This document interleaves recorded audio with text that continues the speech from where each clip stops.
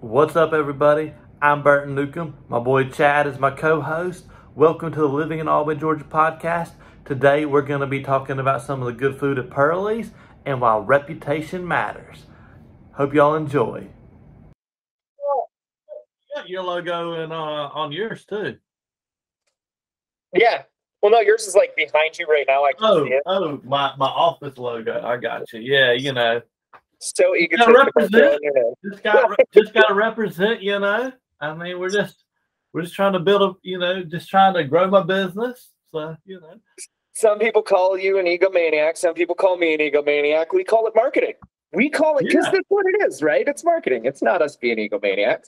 my, my buddy, my buddy Dalton made the sign for me. He had like a little uh business doing like woodworking and shit. That is cool. I was like, here's what I want done. And, and so he made the sign. Then I got my multiple years of being a million dollar listing over there. Do, doing a couple million in sales, no big deal.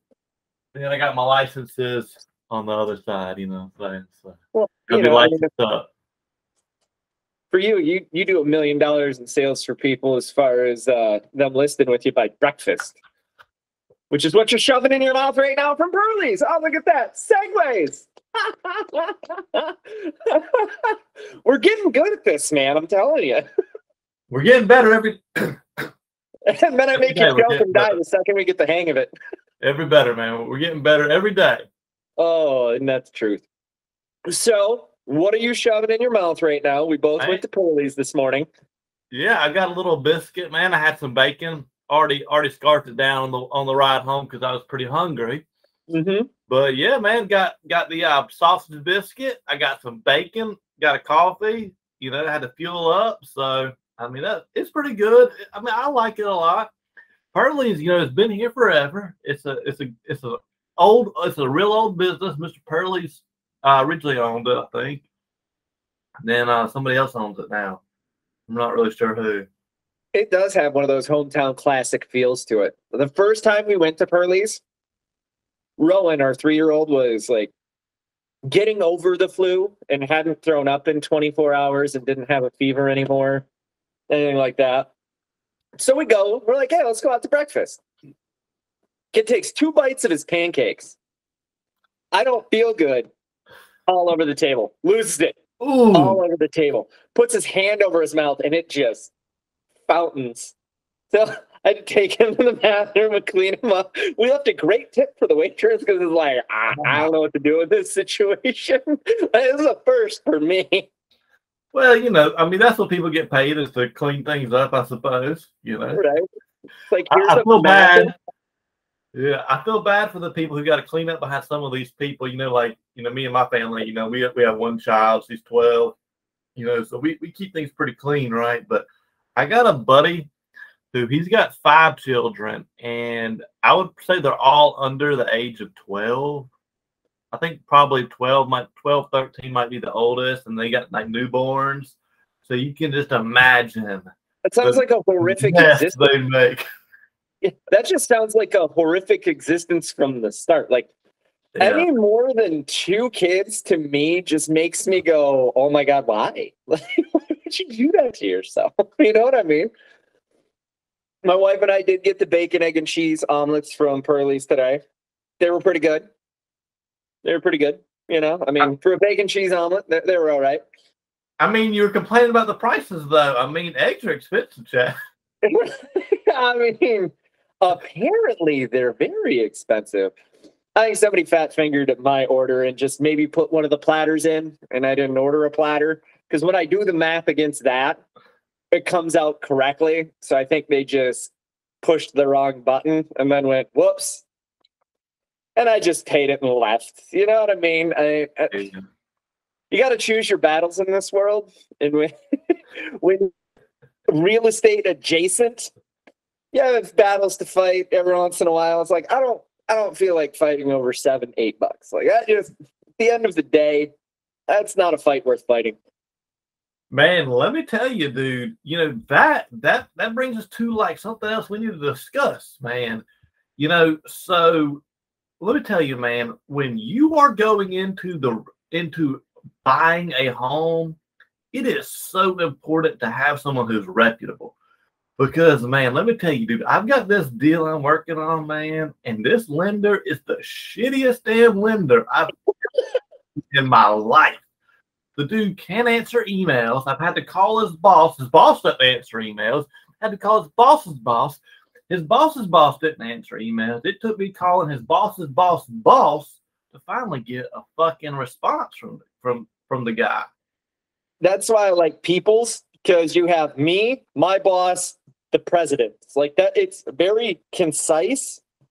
So if I don't get a hold of you and you get a hold of my boss, my boss gets a hold of me immediately and comes down me with the wrath of uh, the Old Testament God, not the New Testament God who had a kid and is all cool now. The Old Testament one that like plagues and leprosy and all that stuff. We've had this house under contract since uh, January 2nd. We're supposed to close on the 10th, okay? Uh-huh. One, you want to know when they ordered the title and appraisal? Just take a guess. When would you Monday? order the title and appraisal? When would I order the title and appraisal? Yeah. Like I would try to get it done within that the first day of getting it under contract and getting everything locked up. I would have everybody on board. Let's move towards closing. Let's get this appraisal done. Why are we waiting? I would rather sit there and wait on a date than sit there and wait on paperwork. Well, today is the 2nd of February, Literally 30 days later, pretty much. As of this morning, actually last night, if you want to call it that, that's when the appraisal and the title was ordered. so the, the chances of us getting to close on the 10th are probably the slimmest to none. Oh my gosh, unless they put a rush order on that appraisal and get it back and by even even by Friday, that's still a tight turn if they haven't done anything with title yet. Oh, I mean, it's it's it's gonna be a tough one. So, you know, basically, when you're buying a house, you better have a reputable lender, a reputable agent, and a reputable home inspector. You know, the problem I have with a home inspector, Chad, is these people they just give their damn opinions and they don't even know what they're talking about. Like, there's no licensing board Oh, I know. know, to- and and so somebody with zero knowledge of construction could open up Joe Blow's home inspections, and people would take his opinions as if they matter, when they're Oh, just an opinion that that half the time isn't even right. having bought two homes and sold a house, I've been on both sides of a home inspection. And I may have swung a hammer a time or two in my life. So I know I know a thing or two about construction. And some of the things they pointed out when I was selling a house, I just rolled my eyes. I'm like, really? Really? The house, the house that we sold is built in 2005. They're like, oh, hey, well, you know, there's what was it? There was no cracks in the foundation, but stucco out in Arizona. There was one hairline crack by the door. They're like, oh, that could be structural. It's stucco for fuck's sake. Like, are you It cracked. shitting? Like, it's a it's a crack piece of here. You know what I'll do? I'll take a little bit of caulk and I'll just I'll fill I'll take some concrete caulk and because with 125 degree heat during the day and then it gets down to 50 at night, that expansion and contraction over the course of almost almost 20 years, 15 easy, you're gonna have small hairline cracks in places. That's just the way it is. These people ask for a repair because the home inspector said the the gutters are clogged. Guess what? The, the inspector didn't even look at the damn gutters because they got a screen over the damn gutter. So how could they be clogged, Chad? Well, and get a ladder. I'm sorry if you buy a house with gutters, you're gonna have to clean the gutters. I mean, there there comes a point in time where you have to realize that hey, you're buying a house. You are in you are voluntarily assuming some work. I mean, a house to keep it up and keep it looking nice and everything else takes, and here's a dirty word, effort. It takes a little effort. And oh boy, oh boy, when we bought our house, there was a little bit of damage in the water damage in the garage, and the home inspector made a big deal out of it. And I looked at the pictures. I'm like, this hasn't been. Wet. I asked when they put a roof on. They're like, oh, I put a roof on like five years ago. I'm like, this hasn't been wet in five years. Like, it got wet. A little bit of the roof ceiling peeled, and they fixed the roof, and the leak stopped. Imagine that. And he's I- like, I "Oh, I don't know. Oh, I don't know." It's like, mm. Then, you know, another problem I have is these damn appraisers. You know, at least there is somebody who regulates the appraisers, right? But you know, like how how can an appraiser go into a new construction home that doesn't have a fence, doesn't have a pool, doesn't have this, doesn't have that, and appraise it for let's say half a million bucks, right? But Mhm. then you take a home that was built in 2003, 2004, 2005, 2006.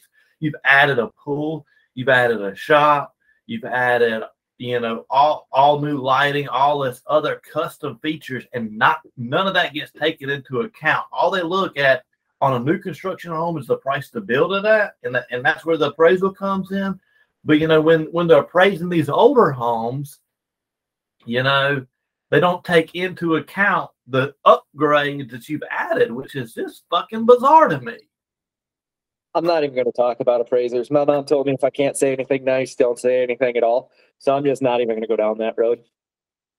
I've had some good ones. Now, now I will be fair. I've had some appraisers that have gotten me appraisals back. We've ordered them. They were back in 48 hours, completely clean, looked great. Boom, boom, boom. So when I get that level of competence, it's hard for me to then turn around and deal with any incompetence because I know how fast it can be done because I've seen it done.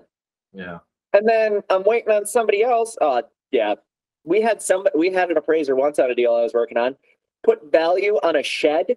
The entire front of the shed was off its foundation. It held us up from closing for two weeks because they put value on it, and then the person went in the hospital, so we couldn't tear it down because they couldn't. It was a mess.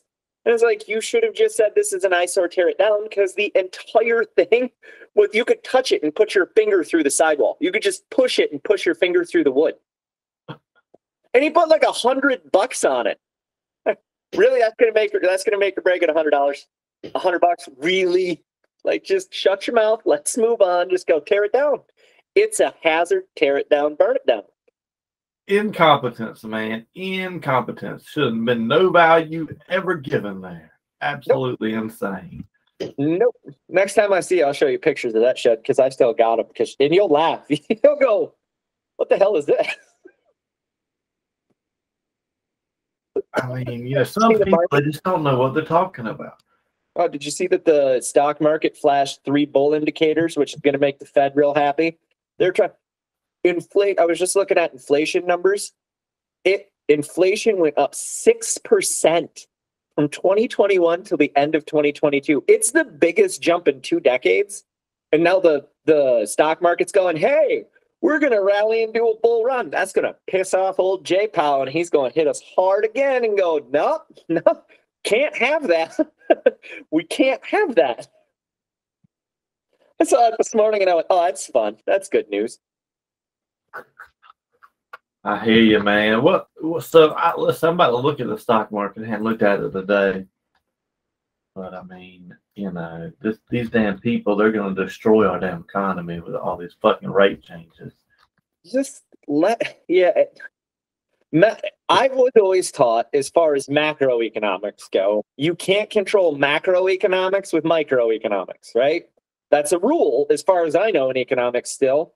And yet, every economist tries to control the macro level with these micro moves. It just, I, I, again, it's incompetence. Yeah, absolute incompetence. If, if we ran the world, buddy, she'd run smooth as glass. This will be the smoothest running world, and this will be the smoothest running thing in the whole world. What can I say? Right. I mean, we got all the answers right here. We d- people just gotta people just gotta let us solve them, right? I mean, that's all. Put us in charge. I'm not saying that they should put you and I in charge for like a year, maybe three months, and we'll fix it all within three months, and then we should be kicked out. Because any longer than that, we'll start screwing it up just like everybody else. Power goes to your head. You know what I'm saying? Yep. You oh, put I somebody in charge and take too much power. Oppenheimer had the greatest quote of all time. He said, "You know, humanity can save the world if they just stop trying to do it." yeah, yep, that's exactly right. Yeah, over the over the last five days, man, we've had a huge, huge jump in the market yesterday, man. Huge. Yeah, and they're having a meet. The Fed's having a meeting in February. How do you think they're going to take that news? They're not, Not gonna be happy.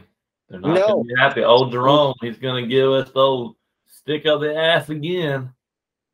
And I can see why he's doing it. You know, we don't want the value of the dollar to be devalued while we're also still having some trade things with China and all the Ukrainian stuff. We want the dollar to be strong right now. And we can't we can't have an 8% inflation rate again this year because then the yen will be gaining strength against us. We can't have that. So I get where he's coming from. And I guess he's got no other weapon to do it. You know what I mean? It's just, did you see Apple and Google are laying off a bunch of people? So I, Oh yeah, man. The tech businesses, I mean, those things are about to go down the shitter, I think.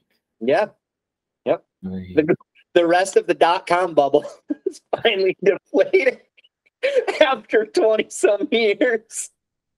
I don't. I mean, this it'll be incredible to see what happens. You know, I mean, when when you know, I was talking to my buddy. So he bought a hundred and ninety nine thousand dollar house, I guess about a year and a half ago, something like that, right? Mhm. And so his his mortgage on his house with with taxes and insurance all escrowed in, and total he pays just under fourteen and some change, right? Yep. So like, I mean, it's like thirteen and some change. So just under fourteen hundred his whole mortgage.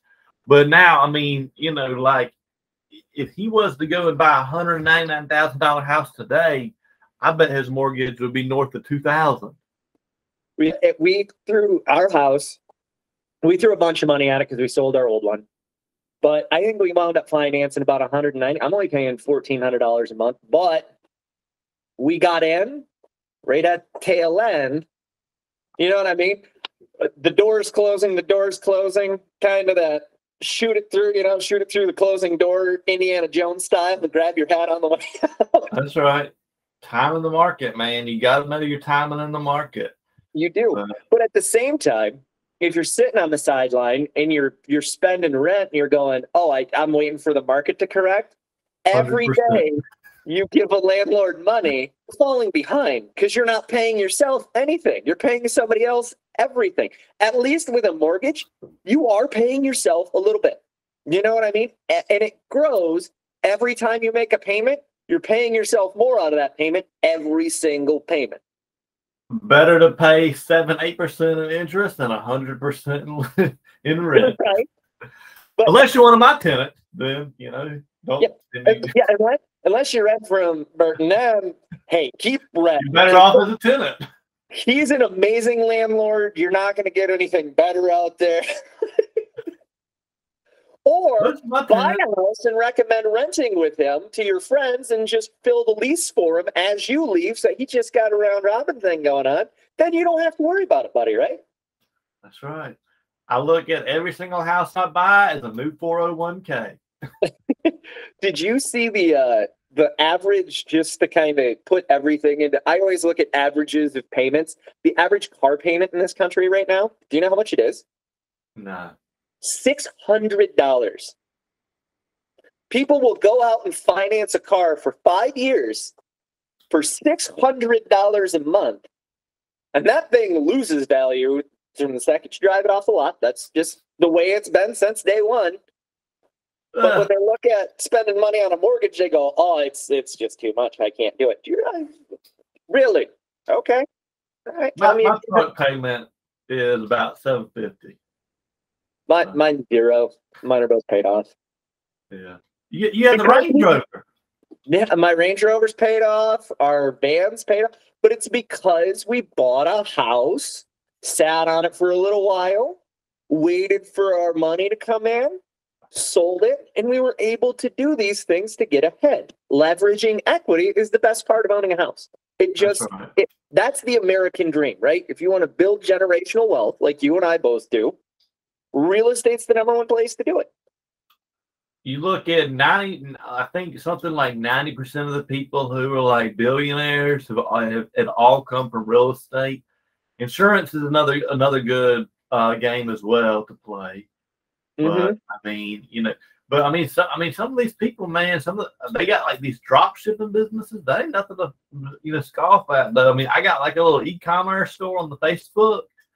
I mean, it's a it's a pretty lucrative industry, I'm gonna be opening a t-shirt store on Etsy because I watched a couple of videos on how to kind of parlay those designs and really just have the people making the t-shirts ship them to people when they're done.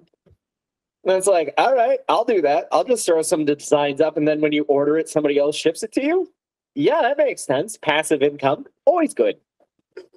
No, no income better than passive income, especially you know if you can get use it as a tax deferral method. you know? Everybody needs an LLC for a tax shelter, right? oh, That's right. These these limoncello blueberry bangs are oh, if you like energy drinks, these things are amazing. I love the bangs, man. There's like there's like a green apple one, man, or like a candy apple or the something. candy apple. Yep. Yeah, dude, that thing is delicious. Then they got I, the lemon lime one. Oh, I like the lemon lime one. I can't drink anything that's like green apple or apple flavored because I immediately throw up. Don't know why. Don't, I've tried, and it, it has never stopped me from trying to drink one, uh, to drink anything of that flavor. Even apple pucker, like the apple, the sour apple schnapps. Oh. You better put some butter shots in it to make it caramel apple. Then I can throw it down. But if it's just straight apple pucker, it's coming down, coming right back up with anything that was previously in there. I hear you, man. I, am a, I'm an apple guy. I'm yeah. Apple. Hey, I got a question apple. for you, man. Yeah. You ever been to uh, St. Augustine? I've not. I want to. I haven't been out there yet. You know, I mean, you're, you're no help for me then, Chad. No help. Barely any help for anybody to begin with. This is not news to me. I hear you. I'm supposed to be going this weekend. Yeah, I got to figure out what we're going to do while we're there. I'm trying to come up with some ideas. I have some ideas for you if you're if you're going with your significant other, but we can't talk about them on the podcast because we want to keep this thing slightly family friendly. I mean, uh, language here and there, but I mean, hey, listen. The other day, my we were driving. I was going to drop my kids off at daycare the other day, and we were out. What's that road that goes by Publix in Leesburg and then crosses uh, Lovers Lane? I can't remember the name of it, but we're coming on that road, and person has a stop sign. And I'm turning left well, they just decided because I was turning left that they were just going to go. The damn near hit me. I slam on my brakes, and from the back seat, all I hear is my three year old go, God damn it. And I just started dying laughing. I'm like, I can't even yell at you, kid, because you read my mind. Like, that's exactly what I was thinking. Yep, yep, perfect way to use that phrase. Pay attention. What the hell, man? these people, man, we have some of the worst drivers in the world here. I don't know how where they get their driver's licenses. I Did, since COVID, since COVID, two years now, there has been no driver's ed. So think about how scary that is. We have 16 year olds on the road that took a paper test. That's it. They just they they filled in some bubbles. They may have never even been behind a steering wheel. And then the DMV just goes, "Here's your driver's license." here's your higher insurance premiums, everybody. I understand you can't penalize them, but hey, put the driver's ed guy in the back seat, put them in the front seat. Everybody mask up because you need to drive to learn how to drive. Driving in Arizona was no better. Everybody, because everybody moves there, so nobody's from there. So you have driving styles from all over the country, and every state has its own driving styles. And Michigan's is we drive 105 miles an hour. Like, get out of my way. If you're not speeding, you're in my way. That's just how it is there. In Arizona, they, there are some people who like to abide by the speed limits. I found Ohio really likes to abide by speed limits. When they see the speed limit, that's as high as their speedometer is going. That's it. I take uh, speed limits as a recommendation, right? So, like, I'm a higher level driver, I think, than your average individual. So, I think that my speed limit actually allows me to have a little bit of a higher speed than, than your average individual. But I'll tell you, man, we got these fucking speed cameras in this town. I was going to say we should talk about those. Man, these speed cameras have got to end, man, because They, I don't even want to one to 'em in discuss how many tickets. 80, 80 bucks a ticket, man, on They- Slappey Boulevard. Come Yeah. on. And they give it to you at 829 when your clock says it's 832 in the morning and they're going, oh no, it's 829. Like, eh, eh, eh. In Arizona, they had those, right? And this dude put a gorilla mask on and drove to work every day past the speed trap and sped every day. And they kept trying to give him a ticket and he just kept saying it wasn't him. Because they're giving the vehicle a ticket, not the person. And eventually, Arizona went, those are unconstitutional because we're punishing the vehicle, not the person. So the precedent has been set in other states to fight those. I'm just, A, I'm not smart enough. I guess B, I'm not motivated enough to lead the charge. But the pave, the road has been paved with the laws out there to go, listen, these are uncon. You still get them in certain, like Paradise Valley, Arizona. They still have them. But when you get one, you don't have to pay it. I guess you have to, but they can't do anything to you until you get 10 or more. Then they can come knock on your door and say, hey, you have to pay these tickets. And they have to prove beyond reasonable doubt that it was you driving in each instance. They have to have a clear picture of your face. We need Which the makes sense. city to stop, you know, putting this bullshit out and do some real good, actual achievements for our community. I mean, let me tell you, man, if I was running this place, we would have no problems, obviously, because me and you, we know how to fix everything, right? But like, golly, I mean, these fucking people running this city, man, they do the worst things in the world. And we're both active in the community, right? I mean, we go to public action committees and all these things, and we hear what people are saying, and people keep saying the same thing. They're giving us speeding tickets in school zones, but they're not doing anything to stop shootings. It's it's incredible. We had a 17 year old go to one of those crack hotels. I mean, that place has been a nuisance my whole life, you know, and, and shot a 48 year old. And, Yeah, and, know, then we got these judges who we, we need to get rid of all the judges in this town. Like maybe some of them are good, but like, but the majority, like when you have somebody out on bond, when you get somebody out a murder charge and they get a bond, let me tell you, man, we got some fucking problems. We need to have more stiffer penalties. And if you have a murder charge or like anything even like close, like any sort of felony charge, you should not get any bond. no, it should be it should be base million dollar bond. Because yeah, even ten percent of that, good luck coming up with it to I mean, out.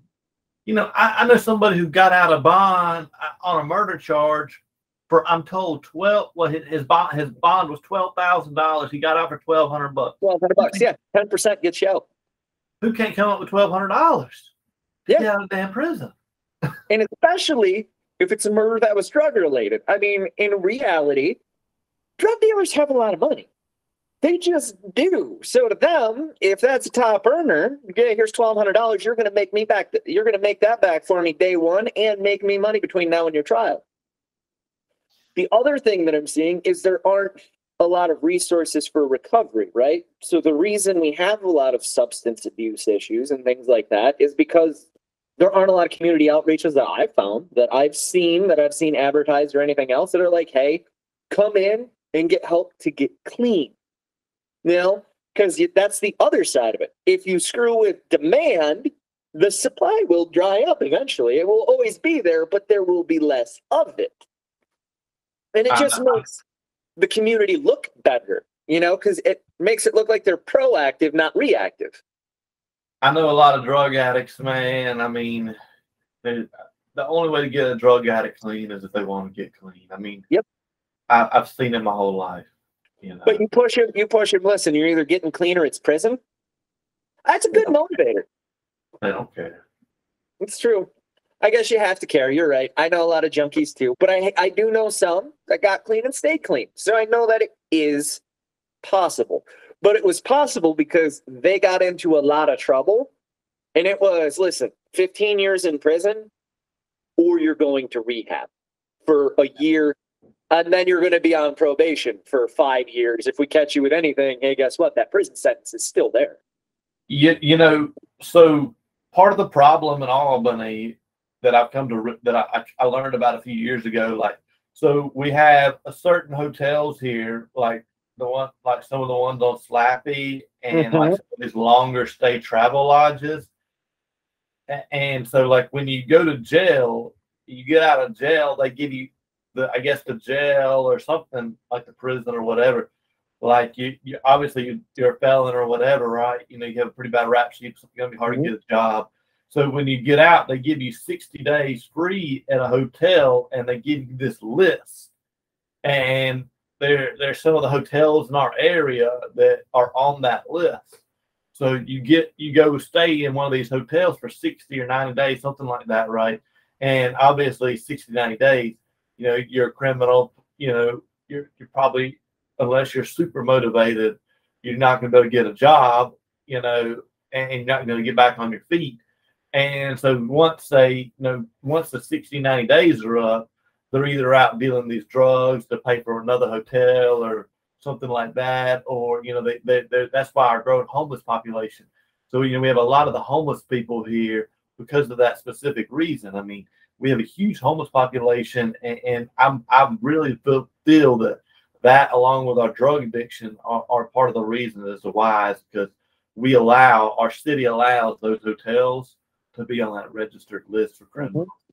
So And really, if they're if they're paying for that, they could, in theory, pay for a place for them for these people to stay where they are monitored, where they have systems, and you know what I mean, where on site there is somebody to help you with your resume. There is somebody who has connections to work to job opportunities that do work with felons. So they're being they're not just kicking you out on your own and going, "Hey, good luck to you." Listen, it didn't work the first time. That's why they sold the drugs to feed them, to feed their family, whatever the case may be, to get into the situation they're in. You, they need to have the resources in place and not just sit there to their own vices and go, well, this was the way it was done before. I didn't really get that bad of a charge. I'm going to do it again. If you have somebody take you by the hand and go, we're watching you 24 7, you will be here at this time, be back at this time, and we're going to help you get a job to earn an income. Because there are places that hire felons. Hell, I know some felons that have pretty good jobs. Well, I mean, Like and, they and a lot of people, a lot of people who get out of jail do get on the right path. I mean, I got a buddy of mine who uh, he did, I think, six, seven years in federal prison, and uh, I mean, you know, he was a pretty wild guy back in the day, but I mean, you know, now he's straightened his life up. I mean, and, Mhm. and let me tell you, man, he was never, in my opinion, a bad. I mean, he made some bad choices, obviously, but he was never like a make bad choices. yeah, he was never like a malicious criminal. He just, you know, did a few did a few illegal things. Mhm. And uh, I mean, you know, me and him were friends the whole time in, in communication. He could email from the prison. They got this like little system. He can make phone calls and stuff. But so prison, I mean, a lot of people do get rehabilitated. Not all of them don't. It's just a tough cycle to be in, you know. It But is. for for a lot of the people who get out of jail, you, you want to know where they should really go? It has great resources. There are two places. You know what those two places are? Washington D.C. and California. Uh, are you saying we should maybe? I'm not even going to go down that road. I'm not even going to go down that road. I was going to say something. I'm not going to say it. but in all honesty, if the city is paying these hotels, because they are, these hotels are doing this stuff for free, right? N- Nobody who runs a business does anything for free. If they're wasting money on on these sources that don't work and actually create more problems for the community, why? Invest in something that invest in something new. Like, I'm not saying it'll work, but if you keep doing the same thing and expect a different result, you're batshit crazy. Right? I mean, I mean, you, you know what we need in this town are more recreational activities. Like I would love to see a, a water park. I think a water park would be a game changer for this town. Um, and I said the same trampoline park. I think a trampoline park would be a, an amazing place. So, like, uh, we got this piece of land that my buddy owns right there on the corner of Jefferson and Palmyra. Mhm. I think, man, so that's like 20 acres, something like that, right? That's right I down there mean- my house. Yeah, so you have all so you have the expressway right there. You can get to and from the interstate. I have always thought that would be a fantastic spot to put a water park, man. Oh yeah. A water Yeah. park would be incredible, man. 20 acres for a water park is that's a big water park. Like Thunder, what is it? I think Thunder Bay in Phoenix, which is owned by Six Flags. So, I can't remember the name of it, something like that. They only have like eight acres, but they have so many water slides that it takes you all day to ride all of them. I mean, Well, we, we could do other things. house. though. a Yeah, bouncy house park for kids. trampoline park, man. A trampoline park. I think so. I got this plate, this building on Slappey for sale, man. It's like a mm-hmm. big warehouse. Man, I've tried to put, I tried to get trampoline parks to go in there, man. I think, dude, a trampoline park is something people of all ages love. Like kids would love trampoline parks. I would love trampoline parks. Everybody loves trampoline parks. And you want to know something about a, a business like that? That is recession proof. Because no matter what the economy is, recession, no recession, whatever's going on, people are never going to skimp financially on their children's wants and needs. Nope. And for something for like a warehouse, it's got tall enough walls. You could do. Tra- I've had. I've seen wa- rock wall parks. The interior, Oh. the in- rock climbing park, trampoline. That way, you have something for. I mean, there are no adult arcades here. There isn't a single adult. uh, There is no place where I can go play NBA Jam on an arcade system with a beer, which blows my mind. As the ninth largest city in Georgia, that absolutely is mind blowing to me because I've seen those things in other cities and it's just printing money. You got booze, you got video games. Who doesn't love that? That's a great What- combination. What are those? Uh, what are those places? Was it, what's the golf place called? Uh, uh, um, the American Family Fun Park or whatever it is. there? No, no, no, no. Like you can go to Oh, the golf Golf? place. Topgolf, man. Yeah. If we had like something like a Topgolf, like a knockoff Topgolf, man, that would be banging, man. Absolutely banging. Man. but- Again, nobody invests in it. I mean, there's just there's no there's not as much growth as there should be. There is so much potential here. And I, I really think talking to other people, especially on the West Coast, they're starting to look at the Southeast as a place to invest because they've made so much money out west and the dollar there doesn't go as far as the dollar here goes. So they're looking at those types of things going, hmm, what can I do? you make a hundred grand and you live in Albany, let me tell you, man, you live like a rock star. Mm-hmm. I mean, you can afford just about any house, probably. You know, you can do just, you can travel a lot. You know, you can have a very comfortable, cushy life on a hundred grand here or less, really 70, 60, 70 grand, oh, really. Oh, yeah. I mean, 50 grand, really, you know. But I, I mean, if you go to LA or Miami or Atlanta and you make a hundred grand a year, bro, you live in a box on the road.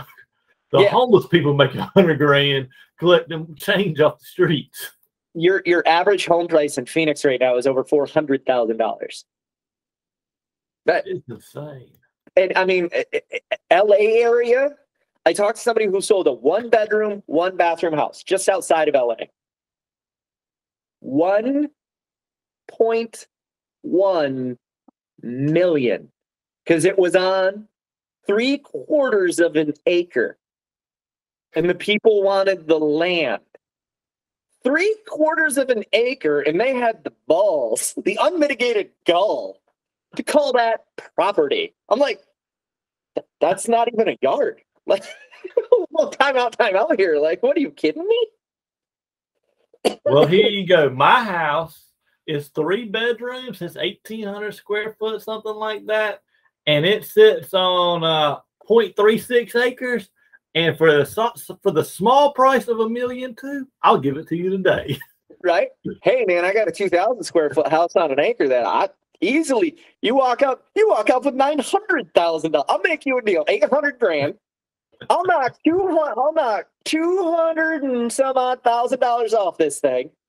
$800,000. It's yours for the low, low price, 800,000. But it, we're back, we're back to we're back to appraised values and everything else, right? It's just it Yeah. comes full circle. The more the more the house sells for next to you, the more your house is worth. That's right. That's Mhm. right. I think we have a lot of growth here. I think we have a lot of good opportunities here for sure. And there are some passionate people in the community that are that are starting to push harder for the growth. You know what I mean? How how do you think the ACU meeting went that night? I think it went well. I really I think that if they can get I think that they need some people on their side to get some money behind them. I think that that is the one thing that they really need because part of what they're trying to do is creating change themselves and not even asking the city or the councils or anything anymore. Just creating their own, hey, this is we have the money to do this. We're creating our own resources now. So some grants wherever the money comes from cuz say what you will about the federal government. Man, they got a lot of money to blow on nonsense, and you might as well get some of it for your town. You know, And if they don't have it, they'll just go print some more. yeah. they just go over to old J Powell and go, "Hey, we know inflation's terrible, but can you just print us a few more dollars?" And he goes, "Yeah, inflation's insane, but here's a billion more dollar bills for you. I wonder why inflation's out of control." It's insane. But it's great man. to be in charge of. It's great that your job. It's like uh, Matt Damon in The Departed, right? His job was to find the rat, and he was the rat. When you're the problem and you're the solution to the problem, it's the best job to have because you'll always have a job because you can just create the problems you have to solve. It's That's right. amazing. That's right. I think I'm more just jealous. You know what? At the end of the day, if I look at it, I'm just jealous that they get paid to solve their own problems. That's genius level. I mean, you look at the amount of money that some of these senators have made. Like, you take, well, I'm not going to call his name out, but you take the former president, right? Um, not Donald Trump, a, a different one. Went into the presidency. I, I believe he was he was like in monstrous amount of debt, and today, let's see what he's worth. I mean, he, I mean, he was You don't take a job that when you check in, even if you do a four year stint, that job ages you so bad. Look at every president from the time they went in till the time they came out, except for a few.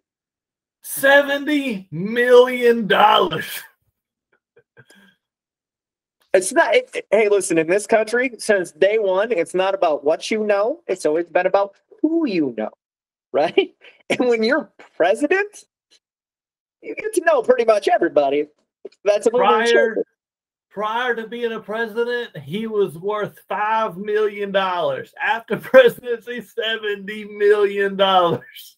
And That's a you want to talk about we don't have a corrupt government? And what was it? Well, I mean, how much do they make? Like a the president makes like a hundred and forty thousand dollars a year, Yeah. something like that. Yeah, yeah. And I mean, it's been that again. It's been that way since day one. Four hundred it's Four just- grand, four hundred thousand a year. So you take that times eight. You know, that's not seventy million. that ain't seventy. No, we're not hitting seventy million dollars there. I mean, so, But everybody is, and this is this is how the country works, right? And you can go back through history. This we all turn a blind eye to things until it becomes such a, a severe problem we just can't anymore, and then we deal with it, and then we go, "Hey, we fixed it," and then we just walk. It's it's like going in a house and you fix the you fix one issue. You know, you fix a garbage disposal, and you go, "Hey, I don't have to do anything to the house anymore." You never put a new roof on it, you know. And then all of a sudden one day you have leaks in your roof and you have all these things and you're mad at everybody else going, well, how did all this happen? Well, you turned a blind eye to everything and you let it get out of control. It's uh, in the 30, if you look back to like the 20, the 1920s and 30s, and you just copy and paste it to now, it's like, son of a bitch. We don't have any new ideas. We just keep repeating the same thing over and over. So if you look at the 20s, hey, everything's good, everything's set. Okay, maybe it's not so good. The first two years were great, but oh crap. And then the 30s hit, and it's like, whoops, we, we lost her for a little while. There's our recession or depression. Oh, the D word. I'm not even going to bring up the D word. We're not going to jinx anything with the D word. We'll just, we'll just stay with the hard R. the uh, market, man, the market is up huge today already. I mean, it's it's only open ten minutes, man. Oh, I know. If you're if you're a short term investor and you invested last week, you made some money this week, and you probably want to sell before old J Powell comes out with the new information because it's going to look like like a crypto chart. Meanwhile, if you look at my 401k, I lost 20% or something like that. I don't really know. I don't even look at it because it hurts my feelings. Like, I don't look at my 401k or anything like that. oh. Did you see the California DMV got into the blockchain industry now? So they're using technology like crypto to do all of their paper transfers and stuff to do instant title transfers. So can you imagine going paying cash for a vehicle and not having to wait for registration, all that stuff, all the paperwork to clear? Boom, done. Have you Boom. ever seen have you ever seen a house close in crypto? I've not. I would love to. I've seen I've talked to uh, some other agents uh, who have seen like up in the Atlanta and out, mm-hmm. out west, and they've seen a lot of people make a lot of money in crypto and, and they they've seen you know like they've actually seen a closing done via crypto, which is just insane. Hey, let me tell you this crazy story, man. This lady, I, I feel so bad for her. She's getting duped. Um, so she she's got the, she she lives in this area, and I met her I met her through a friend, right? So she uh, met this guy online on like Match.com some website. I, I don't really know what website. Probably not Match, right? But some website. Mm-hmm. So this guy worked for the like U.S. government or like the FBI, the Secret Service, some some you know CIA, CIA, you know something like that, right? And, and so he was uh, always in Washington, you know, like on business, and mm-hmm. they were always communicating via the internet, right? And so uh, he had to go to I think like Costa Rica or some other country, like there was an island maybe what Costa Rica. I can't remember what it was. It was a couple months ago when I was told the story. But so he didn't have access to it, any of his money because he was in another country and he ran out of what he took to spend. Right. So he sent her a check for 20 grand. And then she sent him 20 grand in Bitcoin. she took the check to the bank to cash it and it bounced. Like, oh man, I, I feel so sorry for her, for her man. Yeah, you, you cannot meet these people on the internet. If you meet somebody on the internet and they ask you for money, or they tell you they got all this money, or or they tell you they need anything, you better meet these people in real life. Like, oh yeah, you, you better date these people like in real life. Y'all better like hang out a lot. Like, y'all better travel, see each other like once a week or something before you start transferring 20 grand to them. Reputable sources. I my grandparents have a neighbor and she was going to sell her house, right? Six months this fiasco lasted. The first deal fell through because the house didn't appraise correctly. So the realtor and the lender involved said, Don't worry, we have an appraiser that will make this work. Now, how many red flags does that bring up for you right there? Because when I heard that phrase, I almost had a heart attack. I'm like, oh my gosh. You know how many laws they just broke? Like, they just broke all of the laws within five seconds. So it turns out the husband wound up getting charged with domestic violence. The deal fell through. And rather than the person who was selling the house seek legal action, the realtor just gave her five grand out of his own pocket. I went, that is the shadiest nonsense I have ever heard. Like, are you kidding me? I was like, you should, none of that should have happened. I was like, good Lord. Uh, we, we have we have an appraiser that'll appraise it for the right value. It's something that was like a 2007 statement. That's a 2006 2007 statement that is now highly highly highly illegal. Like all three, the appraiser, the loan originator, and the realtor should all be in, at least have their licenses revoked. But they don't. They just paid her off, and she's like, "Well, I got five grand. I'll sell it to somebody else." And she's still using the same realtor. Mm. So mm-hmm. a couple months ago, uh, a friend of mine came to me and said, "Hey, my um, friend or my relative or something or other has this house they want to sell." And um, I was like, yeah, I'd love to help them, you know, whatever. But the people, you know, I didn't get their information. They never reached out to me. Nothing ever happened, right? Mhm. So about three, four, five, six months goes along. Now, take in mind, this was a couple months ago when the market was still really on fire. Mhm. So they were working with this other agent who shall remain nameless. And this agent was going to get them this great deal. And the house never got put on the market, never had anything happen, never had an offer, never had nothing happen. Right. So finally, they, they decided to call a realtor like myself, who's got a great reputation. Once again, we go back to the reputation of somebody who knows mm-hmm. what the hell they're going, what the hell's going on in life. The people call me, I list the house, put it on the market. 40 less than 48 hours on the market. We got it under contract over ask. Reputation, everybody. Reputation. You gotta know You who the got- fuck you're dealing with. You gotta know. And listen, you want the person. You don't want the person who panics over every little hiccup, bump in the road, and all that. You want the person who sees the hiccup and laughs and goes, "All right, fine, I'll fix it." You know, I, that's- who you're really. And if you're, if you're a, a first-time home buyer, let's just let's get this out of the way right now. You cannot pick your own appraiser. The lenders can't pick your appraiser. The realtor cannot pick your appraiser. So the appraiser is a random draw, random assigned thing. Okay. So it's not like any of us have control over it. None of us do, which is the fairest way to do it, to leave it up to random chance. At the end of the day, random chance is the fairest thing in the world because it's random chance. Whatever you get, you get. So don't think when you go into buying a house that you're going to have, because when I went into buying my first house, the appraisal took a little longer than I thought it should. And I didn't know at the time that I couldn't pick my own. So I was pushing realtors and everybody else to pick it. And that's how I learned, hey, we can't. So keep that in mind. If you're dealing with reputable people, reputable loan originators, reputable realtors, we have no control over the appraisal process for good reason. The story I just told, where mm, they're, may have been manipulating some prices on some houses, we can't have that anymore. That that's kind of one of the things that happened cause 2008 and all that stuff. They were overvaluing homes a little bit and working. We were all working together a little too close, so they put us in separate corners of the classroom, just like kids who talk too much. They went, ah, can't do that anymore. So know that going in. It makes it a lot easier when you go in with that knowledge, knowing, hey, this is random chance. Everything else I've locked in. I've made the right call with my realtor. I've made the right call with my lender. I chose Burton. I chose Chad. I've made the right decisions with those people. I'll trust that team to deal with whatever nonsense comes out of the appraisal.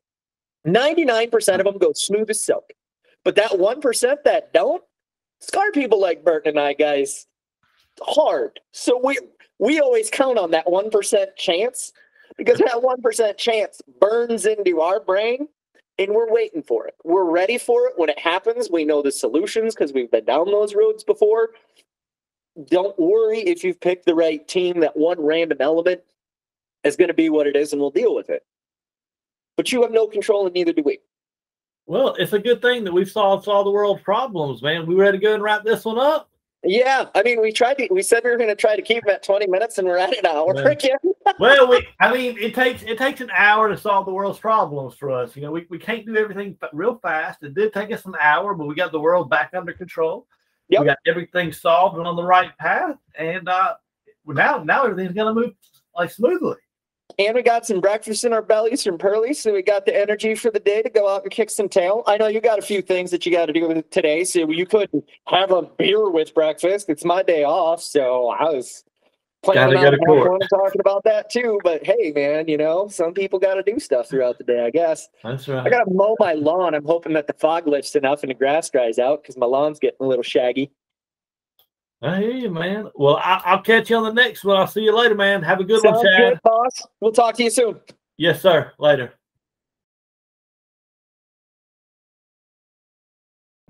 Well, what a great episode we had. I think this was our best one yet, and we can't wait to see y'all on the next one. Y'all tune in next week.